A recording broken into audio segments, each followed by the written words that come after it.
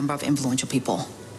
She doesn't have a signature, but she certainly has style, and I don't know who or what is behind her, but I don't think she's slowing down, and that just interested me, I guess. That was our next guest who stars in the new series Killing Eve. Please welcome Golden Globe winner Sandra Oh.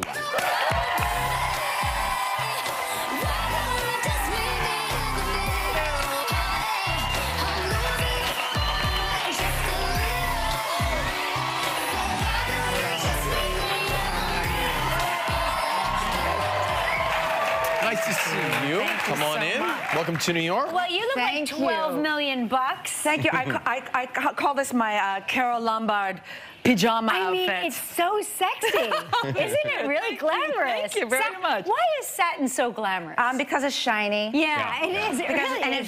feels good and makes you feel good. That's Yeah, why. that- That's don't why. slide off the chair. No. So what's been happening since you've been here in the city? Oh, in this city, you know, I've been here for a whirlwind tour of press. Yeah. But I asked to squeeze in one thing, and if you guys can see it, go to the Brooklyn Museum to see the Bowie exhibit. Oh, is it um, I- amazing? yes, it's amazing, and I. I basically ran through it because I had like 30 minutes, Oh which is not enough time. You need much more time.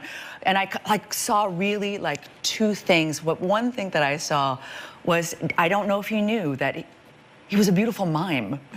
He moved really well, and there's this ex- exceptional short, kidding. yeah, black and white from 1969, um, a film that he does totally in mime, and that he and he does a voiceover of it, um, and it's about persona. Anyway, that was the only thing that I really had time to concentrate on, Yeah. um, and it was fantastic. Do you mime? Because you almost Do went I- into a little do- mime there. do I, was- mime? Do you? No, no, I no, I don't. But Right. but he was beautiful. We're like, we're like, uh, we're like loud mimes. we're like talking, talking mimes. We were kicked out of the mime we union. were talking, definitely. But you have a back. This was surprising to me that you have a background in improv.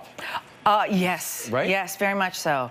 I mean, you guys improv all, all- all the time, But every we're not day. funny. Yeah, but we're not. Yeah, we're very See, rarely. That's so, that's so not true. That's so not true. They are fantastic. See, that was improv. See how you just improv. you just had to coax that out of them. See, and it was they were still on their phone. They're like, yeah, I guess. You say so. No, no, but Um, that was my that was my background. I did a lot of improv, um, all in high school. And does that set you up, you think, for being like a performer? It makes you less inhibited?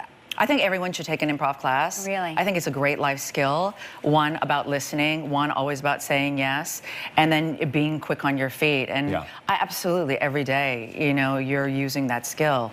We have friends, like our, our funniest friends are our friends that have like done, been in improv troupes and stuff like Yes. that. They're always like, they, they always listen to every word you say and they, Yeah. and they jump in and Yeah. it's like, It also it just helps you be brave. Yeah. It helps you be okay about making mistakes, you know, and stepping in and, and, And kind just of going bring with yourself it, right? going with it. Yeah. So this is, is Killing Eve, and we just saw a Yes. clip which looks so thrilling. it's based on books. Yes, it's ba- based on uh, books. Uh, Luke Jennings wrote a series of, of novellas, Ah. um, and uh, Phoebe Waller-Bridge uh, kind of adapted it and really put her own spin and her own point of view on Killing Eve, and Yeah. uh, it's uh, uh, it's coming out soon. and so. you play an MI6 Yeah. secret agent, right? Which is so, You know, it's so crazy It's when you're so saying cool that that- secret secret I know, agent, but but it's I but I am. Yes, I play.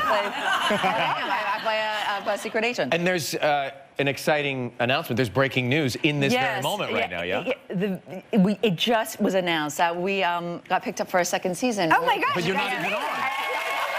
You're not on. That's when you know it's a hit. That's you know you have a hit on your hands when your show hasn't aired yet and you've gotten pickup for a second season. Yeah. That's gainful employment. Yes. Congratulations. Happy for you.